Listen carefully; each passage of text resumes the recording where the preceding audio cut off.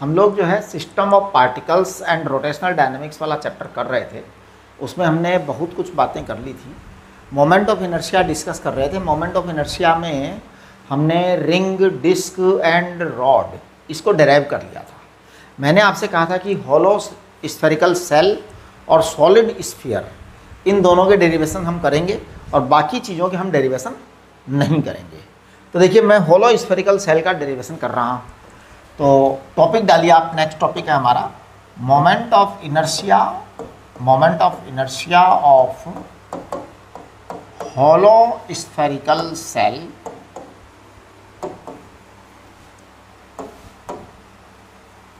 moment of inertia of hollow spherical shell about its diameter about its diameter यानी कि इसका diameter एक axis है और उसके अबाउट हमें मोमेंट ऑफ़ इनर्शिया पता करना है। ओके देखिए, एक होलो स्फेरिकल सेल का मतलब क्या होता है?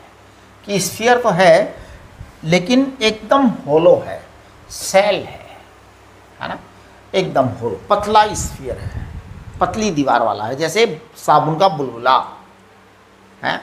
इसी तरीके से जैसे टेबल टेनिस बॉल तो बहुत ही पतला है। अब अगर हम इसको यहाँ पर सेंटर ले लेते हैं और एक डायमीटर बना देते हैं अगर मैं तो देखो मैं सेंटर से एक डायमीटर ड्रॉ कर देता हूँ, ये डायमीटर है।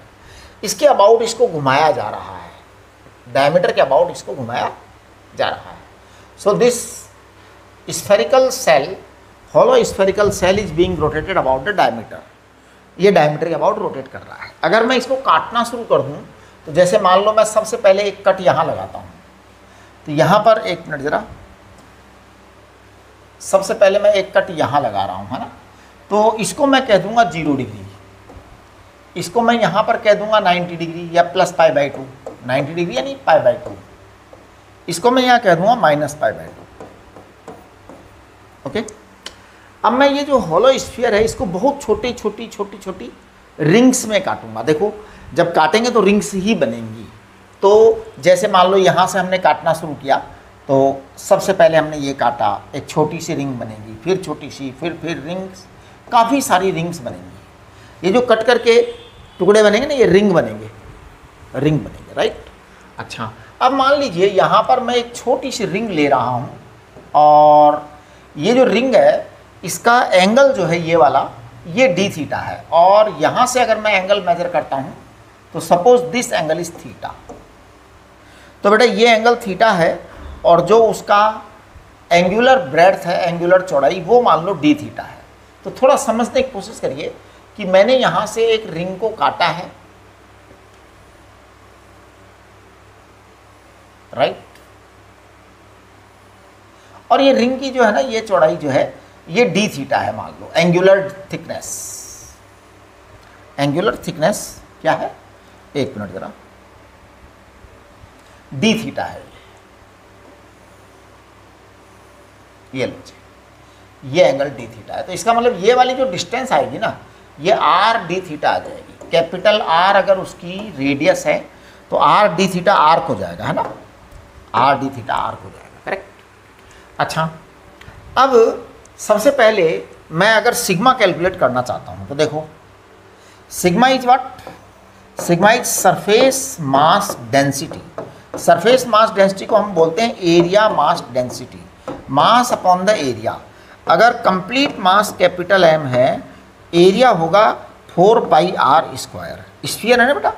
स्फीयर का surface area four pi R square sphere का सरफेस एरिया हो गया. अब मैं ये जो छोटी सी रिंग ली है ना, इसका सरफेस एरिया निकालूँगा। तो देखो D A D A is small surface area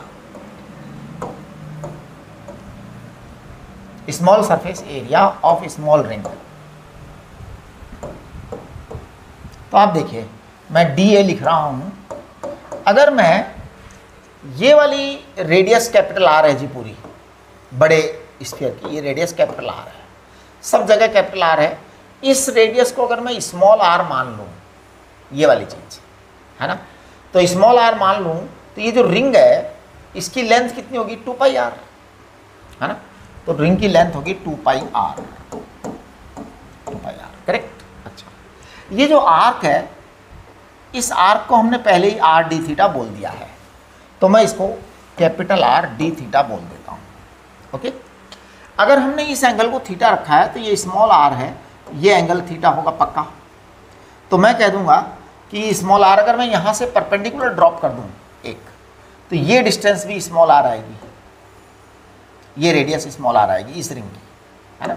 वही रिंग है ये राइट तो देखिए, आपका ये जो स्मॉल आर है, इसको मैं बोलूँगा small R upon capital R बराबर कॉस थीटा यानी आपके पास में डी आ गया है two pi capital R cos theta into R D theta correct ये आ गया बेटा। अब मैं स्मॉल डी आई ले रहा हूँ। D I is what D I small moment of inertia small moment of inertia of the small ring of the small ring small ring का मोमेंट ऑफ़ इनर्शिया का फार्मूला बताओ बेटा। देखिए small ring का mass DM है। DM है। DM mass होगा, है ना? इंटू आर उसकी रेडियस है।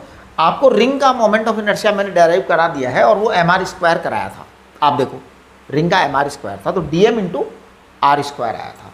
डीएम क्या होता है? डीएम होता है sigma into D A into R square ये आपका डी आई आया small moment of inertia of small ring correct अब मैं इस डी आई को दोबारा लिख रहा हूँ यहाँ पर। तो देखो सिग्मा तो सिग्मा है डी ए डी ए आपका वो रहा। तो मैं ज़रा डी ए को लिख रहा हूँ, आप लोग चेक करेंगे। Two pi capital R square cos theta D theta sigma into two pi capital R square cos theta D theta cos theta D theta आ गया। अच्छा ये डी आया है बेटा। डी आया है है ना? हाँ। अब स्मॉल आर स्क्वायर को मैं लिखूँगा capital R square cos square theta ये आपका डी आई आ गया। अब इस डी आई को हम इंटीग्रेट करेंगे। तो मैं टोटल आई लिख रहा हूँ। आप देखना मेरे आई लिखने का तरीका क्या है। मैं इस आई को जो है ना कहाँ लिखूँ? चलो यही लिख देते हैं ना? आई को मैं लिख रहा हूँ integration D I minus pi by two two plus pi by two ये आपकी लिमिट है जी। माइनस पाई बाई टू से प्लस पाई बाई टू आपकी लिमिट है। ये आपका आई है। अब आप देखिए कि मैं इस कैलकुलेशन को कर रहा हूँ। यहाँ से मैं डी आई पुट करूँगा और फिर लिमिट लगाऊँगा राइट तो मैं देखो, इधर कर दे रहा हूँ इसको, यहाँ पर। इधर से शिफ्ट कर देता हूँ मैं। तो देखो मैं लिख रहा हूँ यहाँ पर i equal to integration D I है ना? और माइनस पाई बाय टू से प्लस पाई बाय टू ये तो हम पहले ही तय कर चुके। इसके बाद नेक्स्ट स्टेप में मैं डी आई की वैल्यू लिख रहा हूँ। उस आई की वैल्यू को लिखते समय हम बहुत सावधान रहेंगे।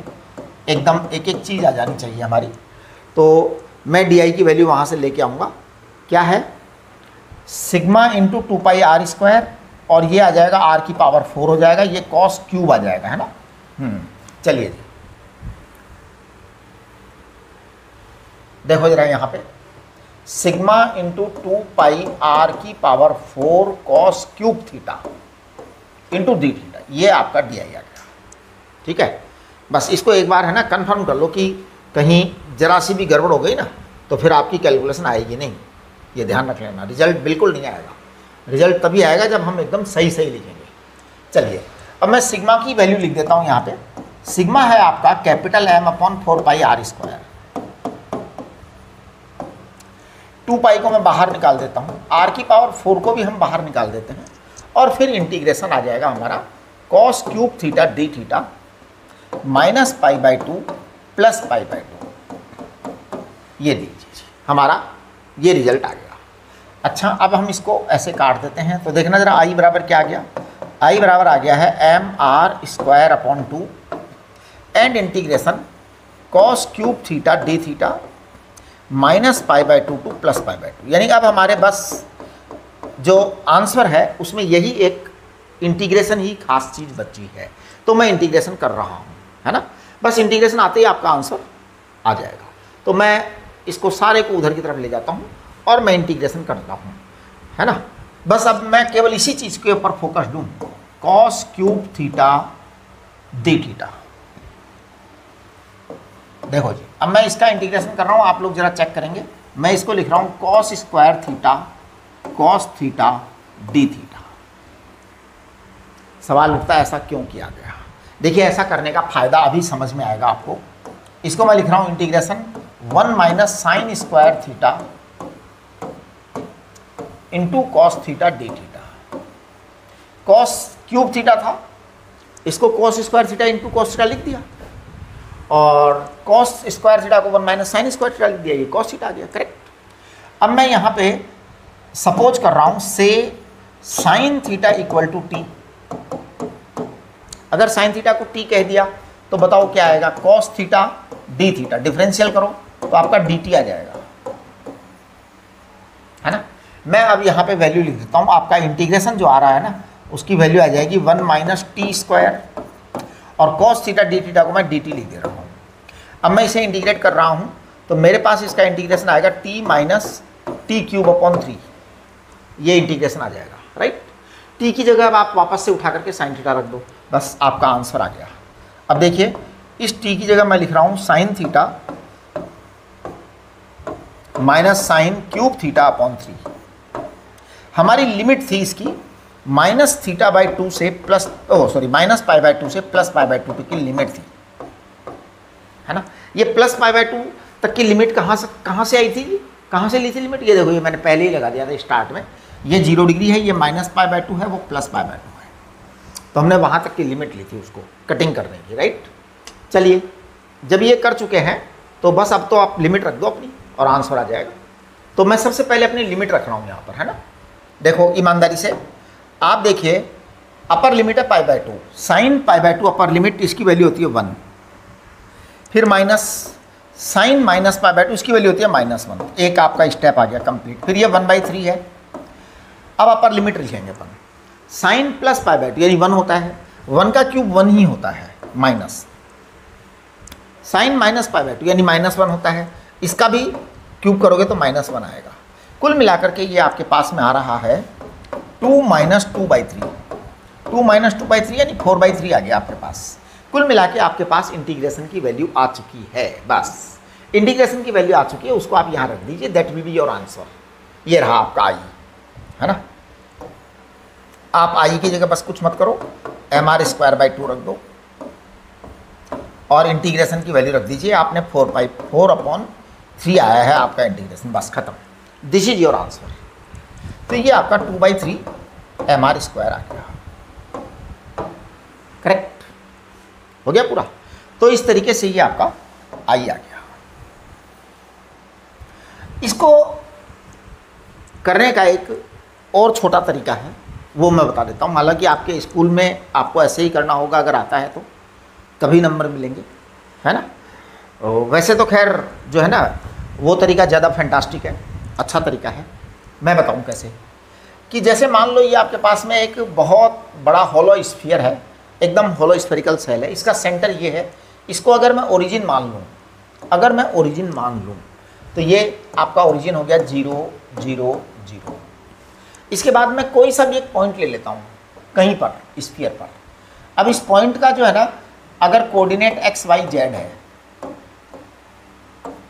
एक्स वाई जेड है तो सोचो अगर ये एक्स एक्सिस है, अगर ये वाई एक्सिस है, और अगर ये जेड एक्सिस है जेड एक्सिस होगी X axis Y axis Z axis तो मैं तीनों एक्सेस से इस पार्टिकल की डिस्टेंस चाहूँगा। देखिए, सबसे पहले आर एक्स आर एक्स यानी कि distance of this particle this point from X axis तो फ्रॉम एक्स एक्सिस से इसकी डिस्टेंस आती है under root Y square plus Z square बिल्कुल। आर वाई ये मैथमेटिक्स की बात है साहब। इसमें फिजिक्स का कोई रोल नहीं है। वाई एक्सिस से जो डिस्टेंस आती है, वो आती है X square plus Z square Z axis से जो डिस्टेंस आती है, वो आती है under root X square plus Y square correct ये डिस्टेंसेज है। है ना? अब हम क्या करते हैं? कि तीनों एक्सेस के अबाउट मोमेंट ऑफ़ इनर्शिया निकाल देते हैं। तो एक्स एक्सेस के about moment of inertia. X axis के अबाउट जो मोमेंट ऑफ़ इनर्शिया होती है, वो मास एम, स्मॉल एम, मान लो इस पार्टिकल का मास स्मॉल एम है।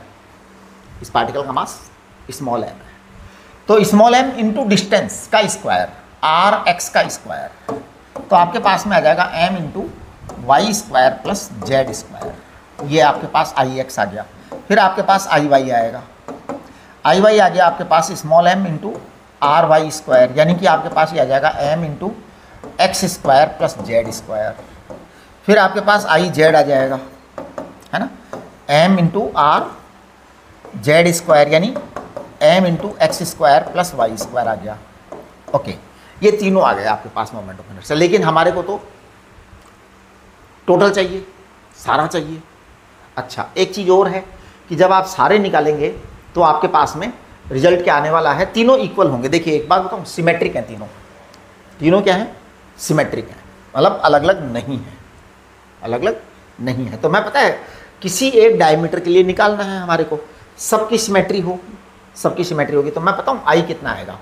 आई आएगा आई एवरेज आई एवरेज माने I X plus I Y plus I Z upon three upon three अब मैं ये जो है ना तीनों यहाँ पे लिख रहा हूँ।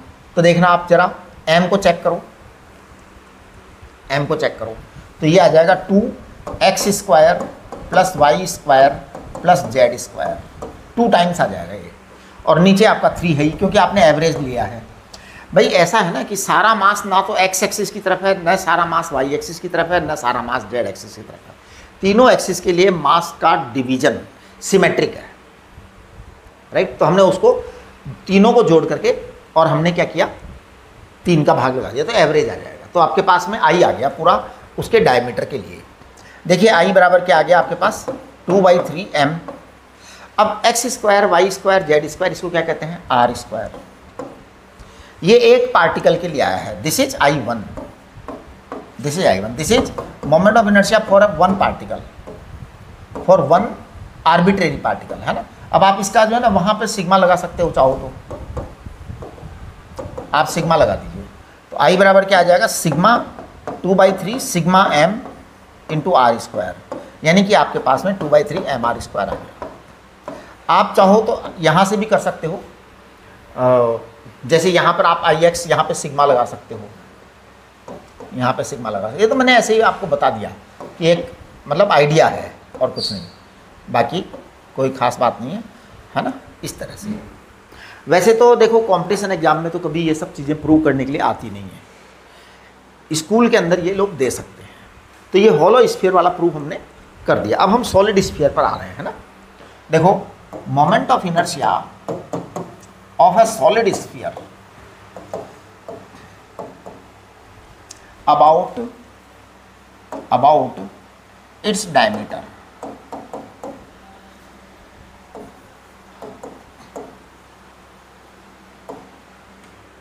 moment of energy of solid sphere about its diameter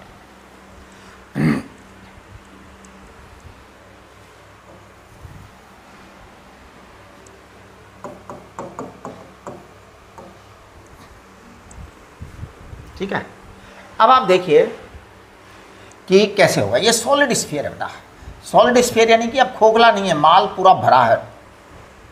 पूरा सामान भरा हुआ है सॉलिड है है ना? अब मैं इस सॉलिड स्फीयर के क्या करूँगा? छोटे छोटे छोटे छोटे हॉलो स्फीयर्स बनाऊँगा। चलो, एक हॉलो स्फीयर की बात कर लेते हैं हम, है ना? सबसे पहले मैं रो निकाल लेता हूँ मास डेंसिटी तो capital M upon four upon three pi R cube इसके, इसे वॉल्यूम मास डेंसिटी कहते हैं। क्या कहते हैं? Volume mass density mass upon volume pi pi R cube sorry है ना?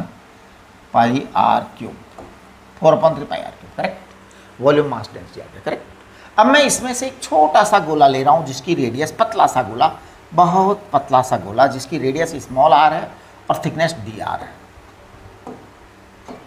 थिकनेस डी आर करेक्ट तो देखिए डी एम डी एम बराबर। डी एम बराबर बेटा आएगा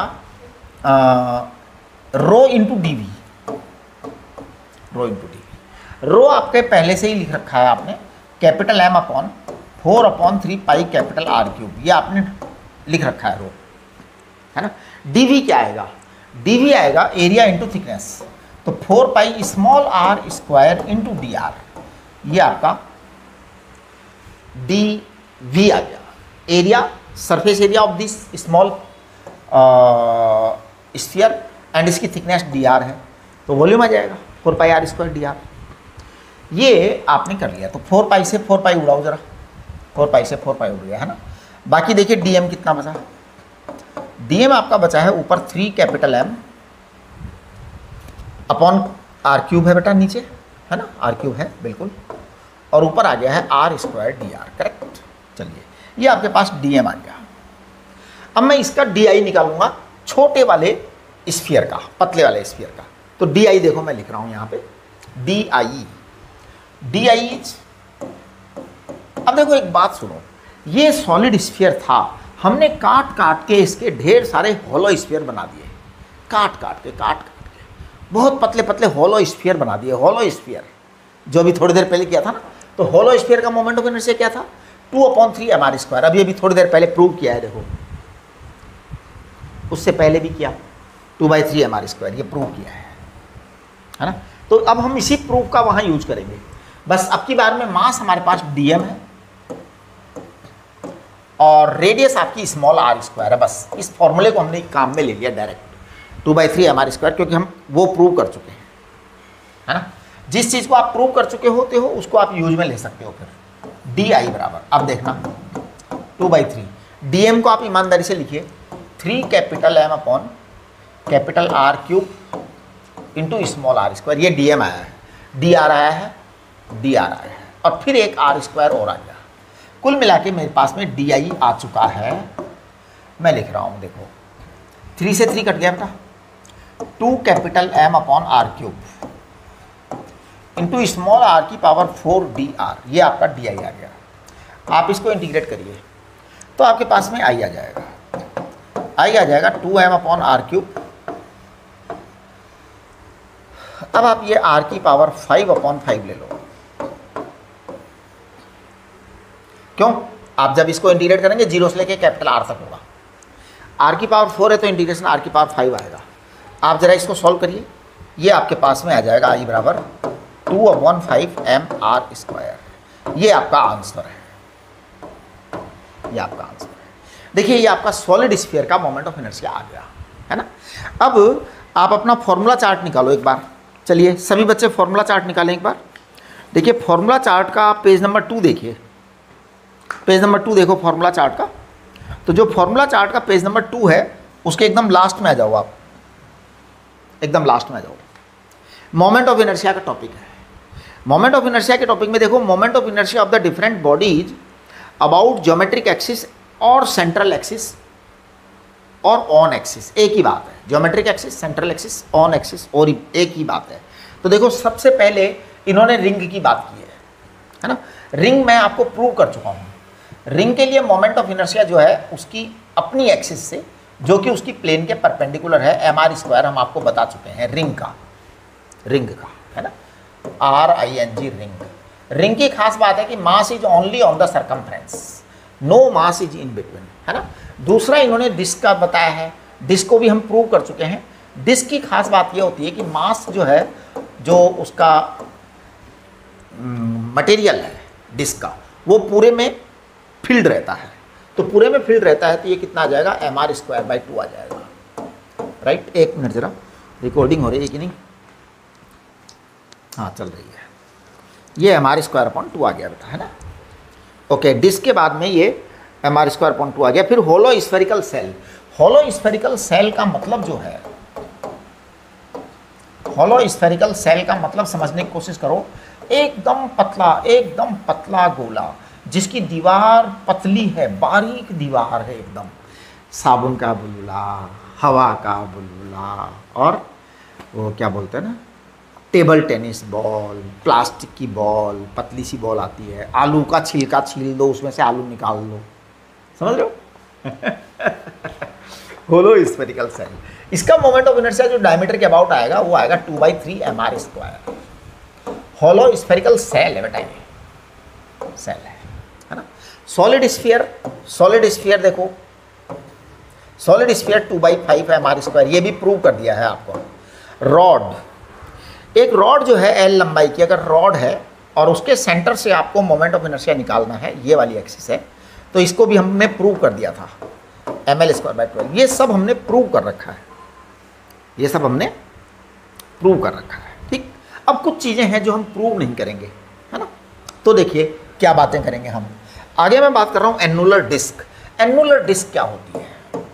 Annular annular disc annular disc का मतलब होता है एक ऐसी डिस्क जिसमें अंदर से कटा हुआ हो। देखो एनुलर डिस्क फिर से बता रहा हूँ मैं। एक ऐसी डिस्क जिसके अंदर अंदर कट लगा हुआ हो, ऐसे कटा हुआ हो ये। सेंटर से काटा हुआ है, इसको एनुलर डिस्क कहते हैं। एनुलर डिस्क में यहाँ कुछ नहीं होता, नो मटेरियल। खोखला है यहाँ से, लेकिन यहाँ पूरे में मटेरियल भरा हुआ है आर टू तक।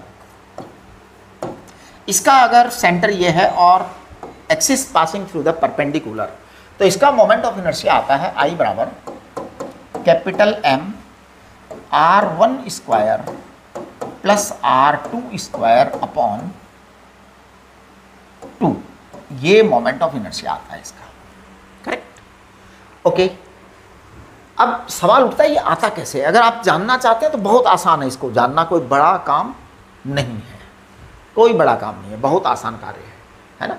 आप कहेंगे तो मैं जूम सेशन में बता दूँगा। It will take hardly two three minutes मतलब कैसे आया? कैलकुलेट करके बता देंगे आपको, ठीक है?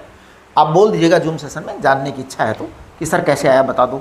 मज़ा आ जाएगा थोड़ा सा है? ना तो मैं it will take hardly three four minutes ज़्यादा नहीं लगेगा टाइम आगे चलिए एनुलर डिस्क हो गया।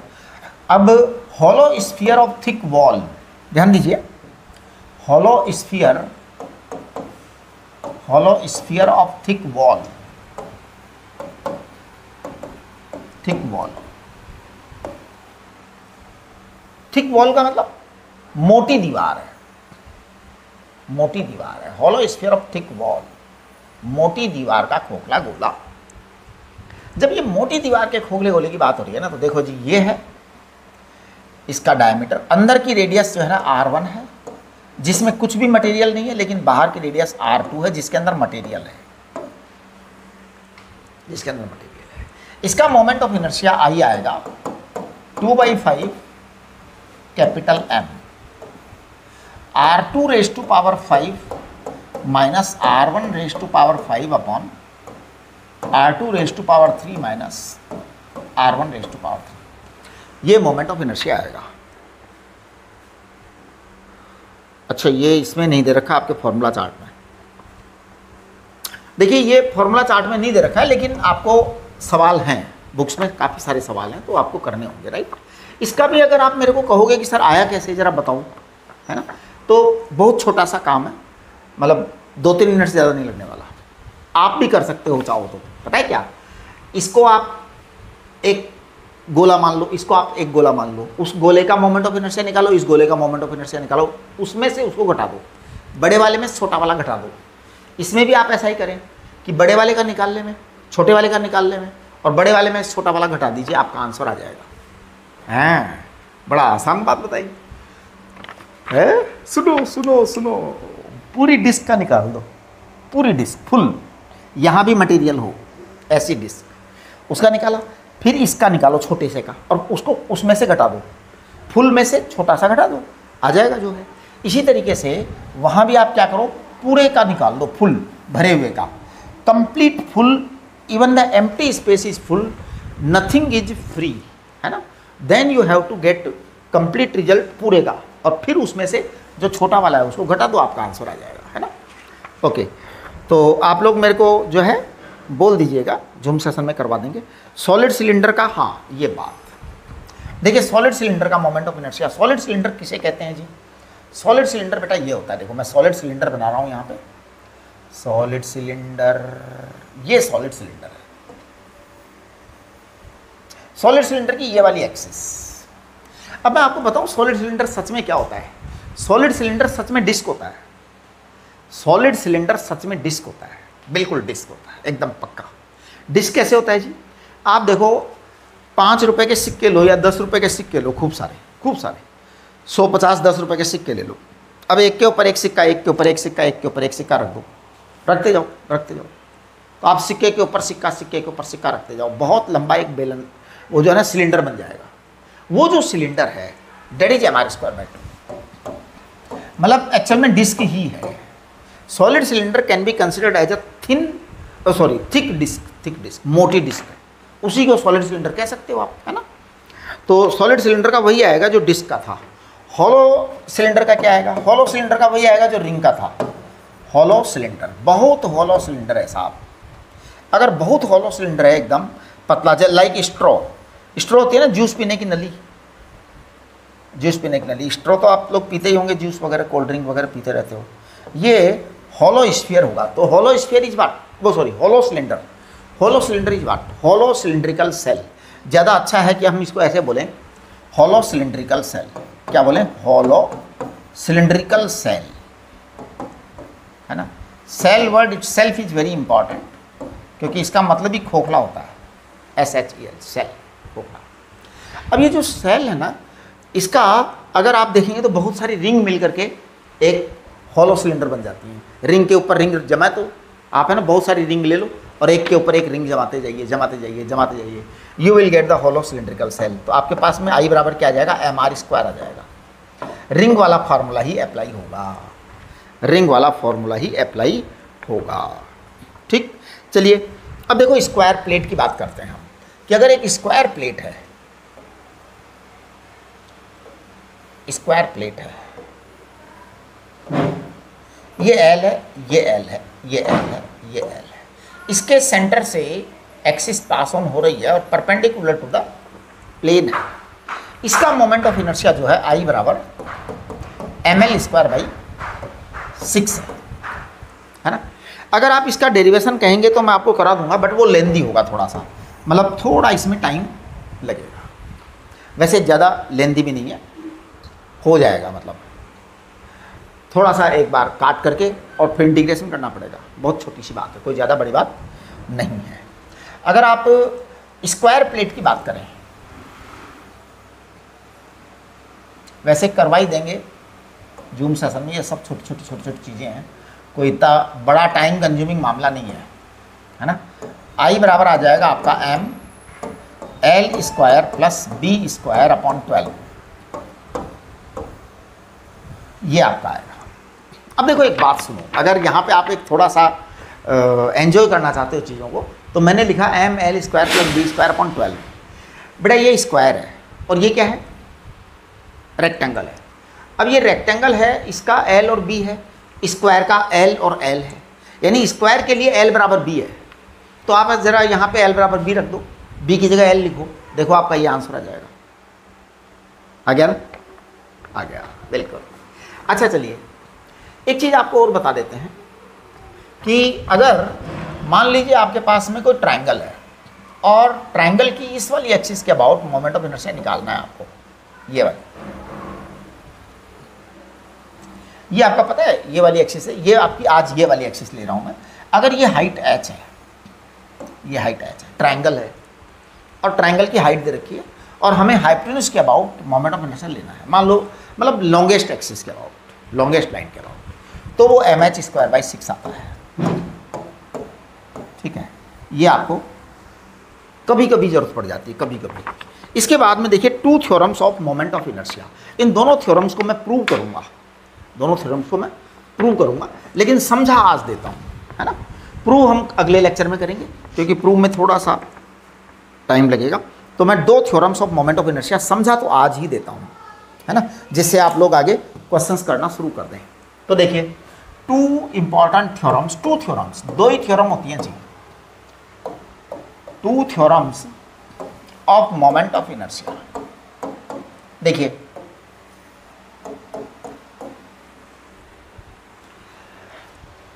by using by using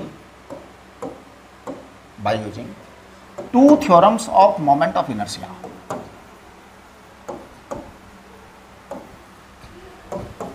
moment of inertia by using two theorems of moment of inertia we can calculate we can determine we can determine और we can find है ना वी कैन डिटरमिन और find ध्यान दीजिए by using two theorems of moment of inertia we can determine और find the moment of inertia moment of inertia of any body of any body about any axis about any axis तो आप ध्यान दीजिए by using two theorems of moment of inertia we can determine और find the moment of inertia of any body about any axis any body about any axis if if the moment of inertia of the body body about its about its central axis is known.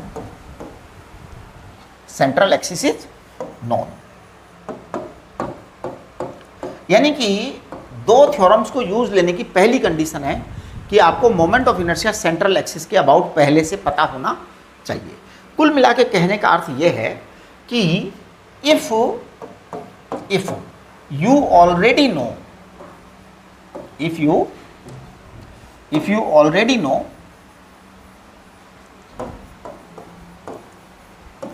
the moment of inertia moment of inertia of a body body. About its central axis. About its central axis. Then then you can you can find find its moment of inertia its moment of inertia about any axis. About any axis. About any axis. By using by using two theorems. देखो जी, हम आपको दो theorem पढ़ाएँगे moment of inertia की। उन दोनों theorem का यूज़ करके आप किसी भी बॉडी की किसी भी एक्सिस के अबाउट मोमेंट ऑफ़ इनर्शिया निकाल सकते हैं। लेकिन उसके लिए सबसे ज़रूरी कंडीशन है कि सेंट्रल एक्सिस के मोमेंट ऑफ़ इनर्शिया आपको पहले से पता होने चाहिए। देखो ये वाला सेंट्रल एक्सिस है पता है आपको करेक्ट ये वाला सेंट्रल एक्सिस है पता है आपको। आ, क्या है ये? रेक्टेंगल सेंट्रल एक्सिस का पता है। आपने पता लगा लिया या मैंने बता दिया जो भी है है ना? इसकी सेंट्रल एक्सिस पता है इसकी सेंट्रल एक्सिस अगर आपको सेंट्रल एक्सिस का नॉलेज है देन तो you can do anything anything बस आपको दो थ्योरम जो है ना आनी चाहिए, फिर आप सब निकाल दोगे, है ना? तो देखो और और देखिए, ये सब सेंट्रल एक्सिस के मोमेंट ऑफ़ इनर्शिया आपको पहले से पता है। लिस्ट बनी हुई है, आपके फॉर्मूला चार्ट में लास्ट में देख लो। हाँ अगर आपको सेंट्रल एक्सिस का मोमेंट ऑफ़ इनर्शिया पता नहीं है तो फिर ये दोनों थ्योरम बेकार हैं। किसी काम की नहीं है। फिर तो वेस्टेज हो गई दोनों थ्योरम तो आपके ये दो थ्योरम्स मैं पढ़ाऊँगा आपको, और ये दोनों थ्योरम जोरदार होती हैं। आप मोमेंट ऑफ़ इनर्शिया निकाल सकते हैं इन दोनों थ्योरम्स के अलावा। तो देखिए मतलब यूज़ लेकर के। तो सबसे पहली थ्योरम है first first theorem. Theorem of perpendicular axes, theorem of perpendicular axes. Theorem of perpendicular axis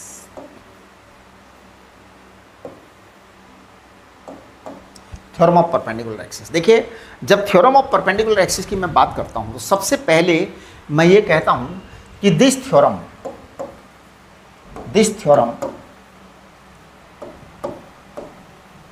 this theorem is applicable, this theorem is applicable only for, this theorem is applicable only for only for coplanar bodies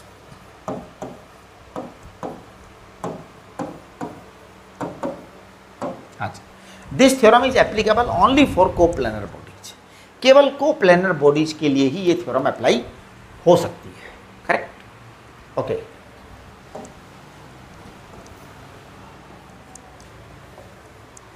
यानी coplanar bodies के लिए ये theorem apply होगी। Coplanar bodies क्या होती हैं? मैं बताता हूँ। कोप्लेनर बॉडीज रिंग अप्लाई होगी। डिस्क अप्लाई होगी। कोई भी प्लेट कोई भी प्लेट हो अप्लाई होगी, है ना? मतलब प्लेन के अंदर हो बॉडी है ना? लेकिन अगर मान लो आप इसको स्फीयर पर अप्लाई करना चाहें तो नहीं होगी। गलत हो जाएगी थ्योरम आप इसको सिलेंडर पर अप्लाई करना चाहें तो नहीं होगी।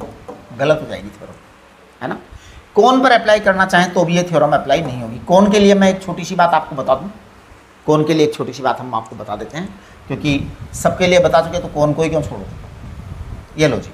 अगर ये कौन है, अगर ये कौन है, और इस कोन का मोमेंट ऑफ़ इनर्शिया मैं इसकी इस एक्सिस के अबाउट निकालूं तो सेंट्रल एक्सिस के अबाउट इसका मोमेंट ऑफ़ इनर्शिया आता है three by ten M R square three by ten M R square I बराबर three by ten M R square आता है इसका, है ना? ये भी कोई ज़्यादा मुश्किल काम नहीं है। अगर आप कहेंगे तो मैं आपको जूम सेशन में डिराइव कर दूँगा। इट इज़ वेरी इजी कुछ नहीं करेंगे हम। कौन को छोटी छोटी डिस्क में काटेंगे? एक डिस्क का मोमेंट ऑफ़ निकालेंगे, फिर इंटीग्रेट कर देंगे, आ जाएगा आंसर तो three by ten M R square इसका आंसर आएगा। राइट इसकी ये वाली रेडियस आर है, बस। पक्का? ओके लेकिन कौन के लिए जो है ना थ्योरम नहीं लगेगी।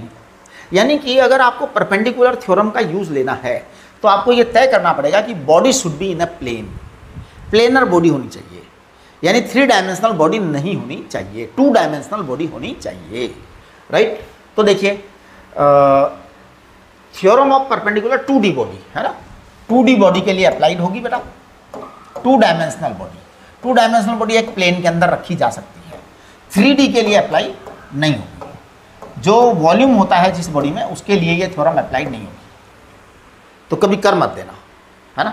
यस चलिए, मैं आपको ये थ्योरम का स्टेटमेंट पढ़ा देता हूँ। स्टेटमेंट बताता हूँ, देखो। As per according to according to the according to theorem of perpendicular axis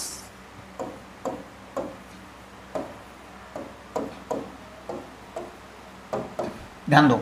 According to theorem perpendicular axis axis this sum of this sum of moment of inertia ध्यान दो the sum of moment of inertias inertias of a coplanar body of a coplanar body about about its two mutually perpendicular axes about its two mutually perpendicular axes axis. Axis. Lying in the plane. Lying in its plane. Lying in its plane. Will be equal to will be equal to the moment of inertia about the third axis. About the third axis. Third axis. Third axis. है perpendicular to the plane. Perpendicular to the plane. Perpendicular to the plane. And and passing through the passing through the through the common passing through the common point of intersection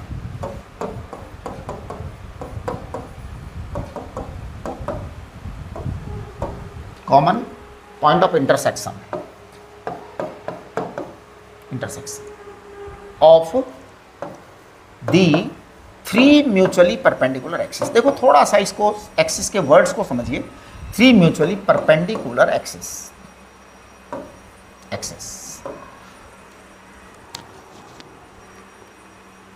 sum sum of moment of inertias of coplanar body about two mutually perpendicular axes lying in its plane will be equal to the moment of inertia about the third axis third axis perpendicular to the plane perpendicular to the plane and passing through the common point of intersection of the three mutually perpendicular axes.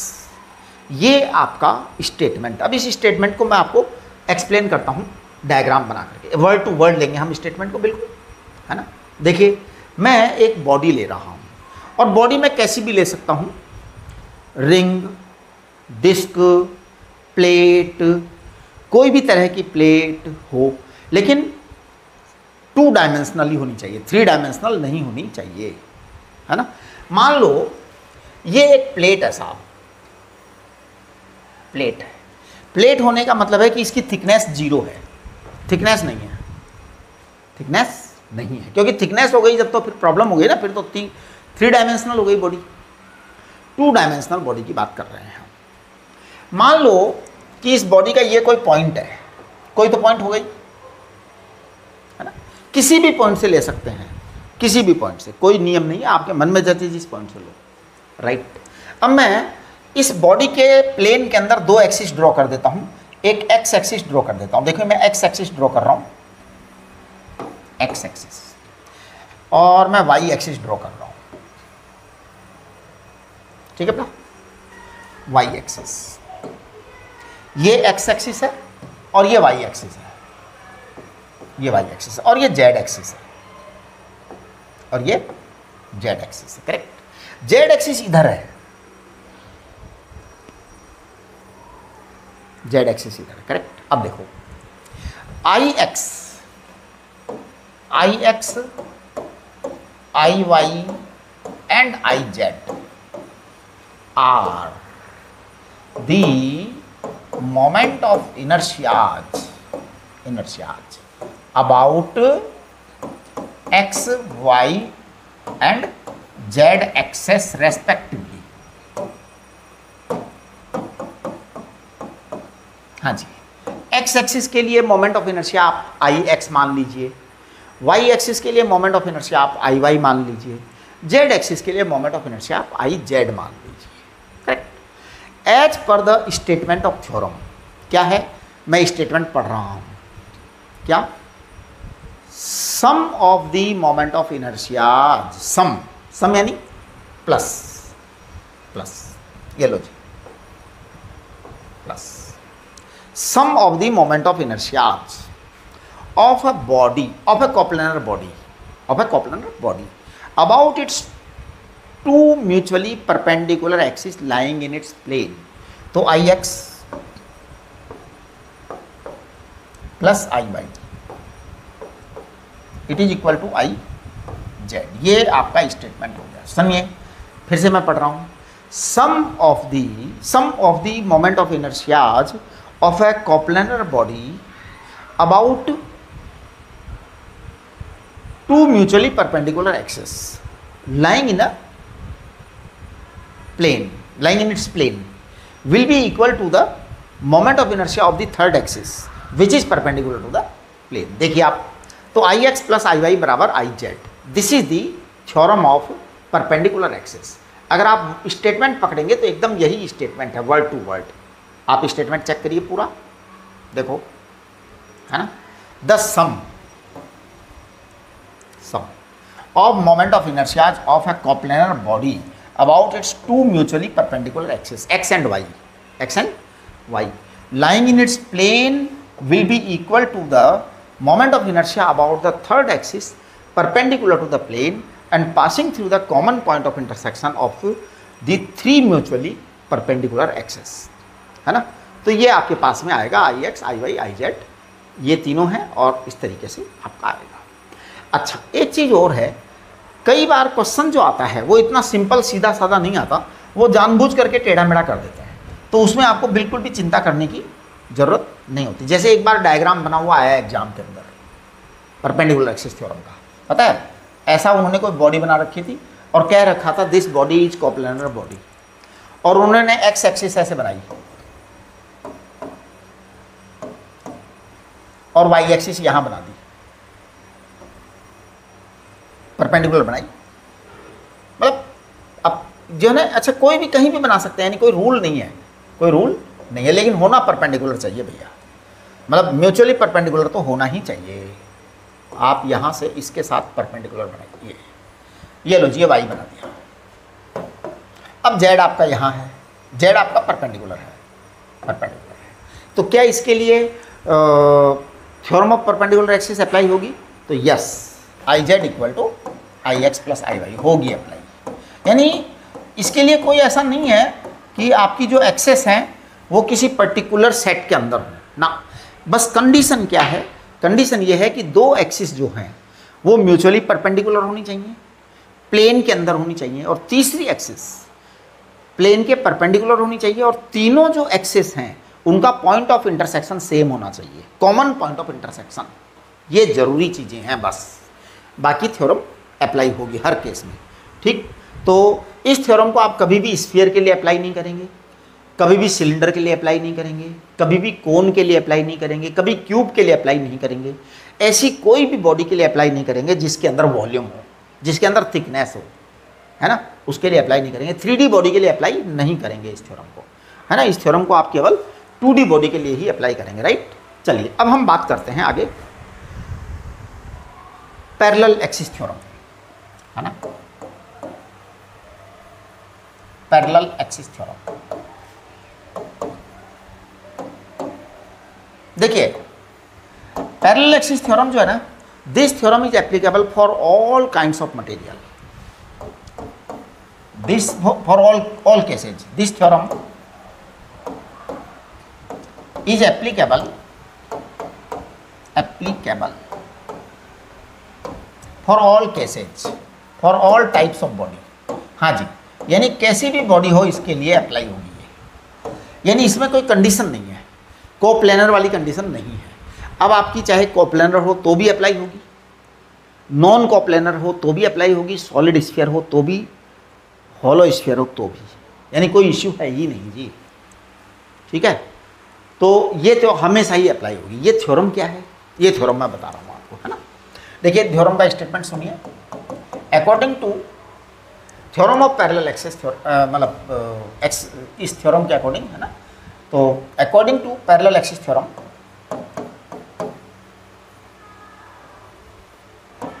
according to parallel axis theorem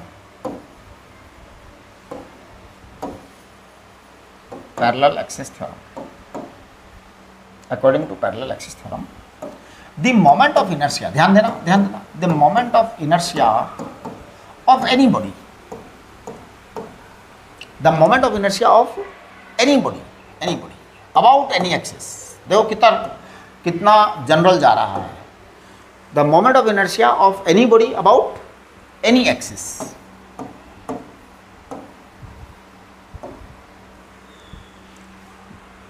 about any axis will be will be equal to equal to the sum of sum of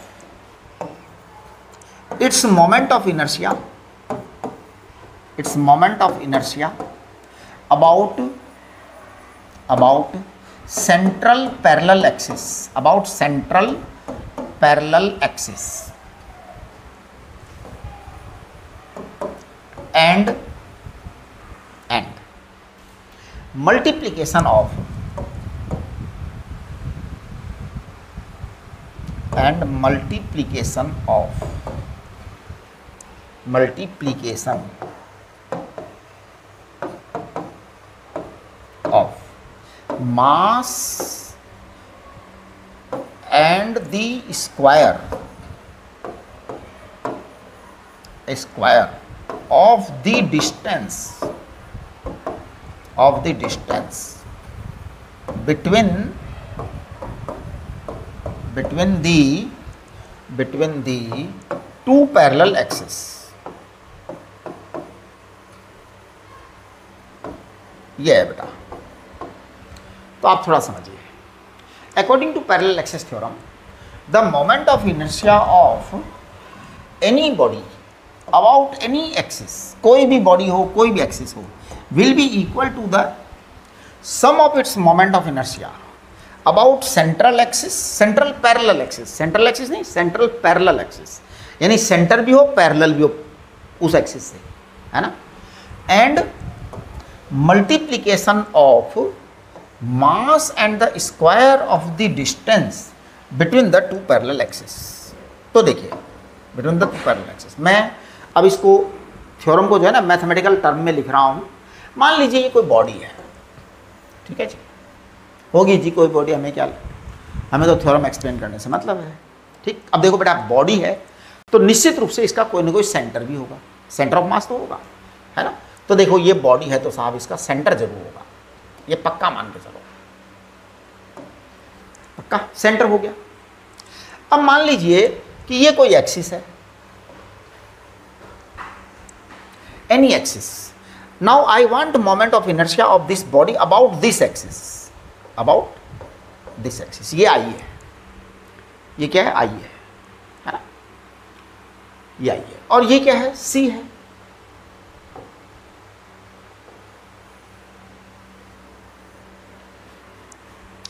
इसके parallel बनानी है axis यानी दोनों parallel axis होनी चाहिए। और ये इनके बीच की डिस्टेंस है। पैरेलल एक्सिस के बीच की डिस्टेंस भी होगी साहब कुछ। ये जो सेंट्रल एक्सिस है, इसका मोमेंट ऑफ़ इनर्शिया हम सी मान लेते हैं। क्या मान लेते हैं? सी मान लेते हैं।